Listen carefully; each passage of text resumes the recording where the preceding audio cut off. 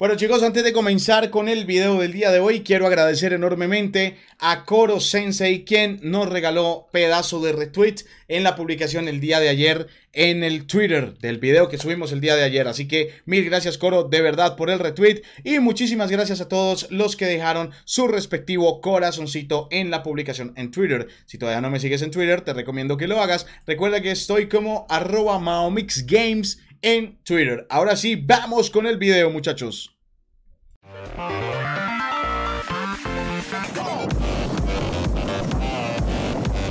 Parceritos, ¿cómo estamos? Bienvenidos a un nuevo video de Clash of Clans. El día de hoy es sneak peek número 3 de la nueva actualización de noviembre. Es que de noviembre. De diciembre de Clash of Clans y hoy venimos con nueva super tropa. Recuerden que todo el material que van a ver a continuación es grabado directamente desde la Developer Build y este contenido es compartido por el equipo de desarrollo de Supercell. Muchísimas gracias de verdad por confiar en mi trabajo. El día de hoy pues vamos a hablar acerca de la nueva super tropa. La voy a presentar, la cual van a poder ver en este momento en pantalla muchachones.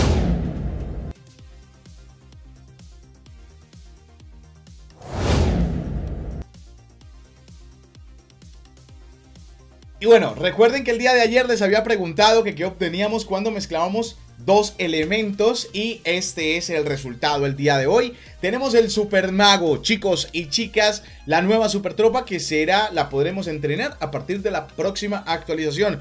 Algunos me preguntan en comentarios que cuándo viene la actualización, que si ya tengo fecha y bueno, y todo lo demás. Bueno, tengo no, tenemos fecha activa. Todavía no nos han dado esa fecha. Así que bueno chicos, pendientes que igual todavía viene bastante información, más sneak peeks. Recuerden suscribirse al canal, activar la campanita para no perderse nada del contenido. También síganme en Facebook, en Twitter y en Instagram. Me encuentren como Maomix Games. Ahí también estoy posteando cosillas. Por si no lo ven en YouTube, lo ven por allá. Así que, ojito. Muchísimas gracias, papus.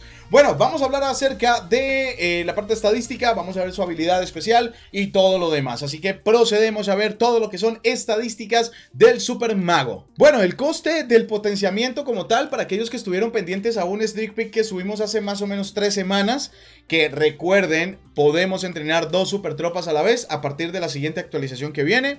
Eh, va a quedar de 25.000 de elixir oscuro. Objetivo de la tropa va a ser cualquiera. El tipo de daño es único. Objetivos terrestres y aéreos. Va a ocupar 10 espacios de vivienda y tiene una velocidad de 20. La podremos entrenar en el nivel 9 y en el nivel 10 al Super Mago. En el nivel 9 va a tener un DPS de 220. Recuerden que DPS es daño por segundo. La vida es de 450. El coste de entrenamiento es de 10.500 de elixir. Y el tiempo de entrenamiento es de 1 minuto con 15 segundos. En el caso de la tropa al nivel 10 tiene un daño por segundo o DPS de 240, una vida de 500 y el coste de entrenamiento es de 11.500. El tiempo de entrenamiento es exactamente igual al anterior. Pasemos a hablar de su habilidad especial y es la magia en cadena.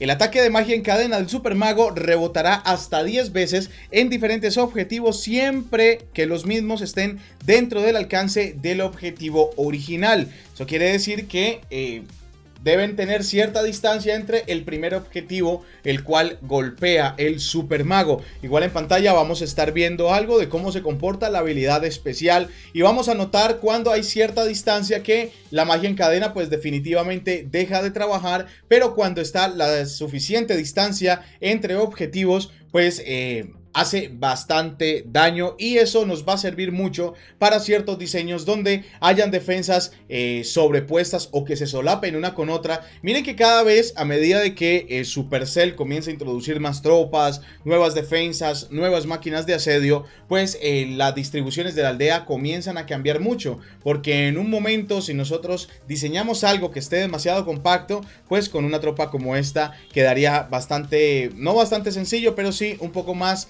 sencillo, se puede decir, el limpiar zonas, zonas bastante grandes con solamente 10 espacios de vivienda. Eso por el lado del Super Mago. Bueno, mis parceros, y hablando un poco de la parte estética, de cómo se ve el Super Mago, a mí en lo particular, el diseño de la Super Tropa me gustó bastante. la idea sobre el papel está bastante chula. Ahí está como una mezcla entre fuego y rayo Eh, hagan de cuenta como la habilidad elemental del dragón eléctrico fusionado con la habilidad elemental del mago.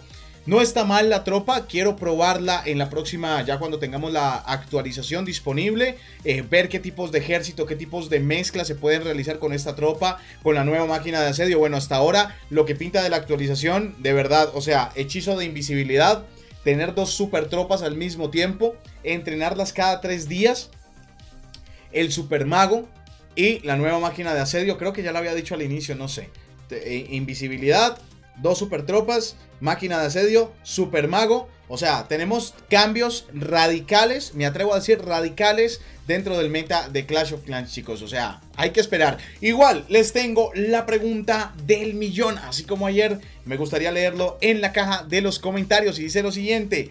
Cada superhéroe tiene un némesis, ¿sí o no? Que podría contrarrestar el poder piroeléctrico, ¿vale? Del super mago está empezando a soplar un viento helado. Averígualo mañana en el siguiente sneak peek. Así que bueno chicos, Ahí queda sobre la mesa, muchachones. Espero todos sus comentarios. ¿Qué les ha parecido la actualización hasta el momento? Regálenme ese pedazote de like si les gusta el video. Y recuerden, suscríbanse al canal, activen la campanita para no perderse absolutamente nada del contenido.